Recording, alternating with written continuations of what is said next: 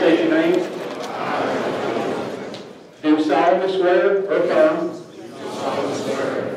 that I will faithfully support, the Constitution of the United States. Constitution of the United States. And the Constitution of the State of Mississippi. And the Constitution of the State of Mississippi. Long range plans are to, I want the sheriff's office to be the um, highest paid sheriff's office in the state.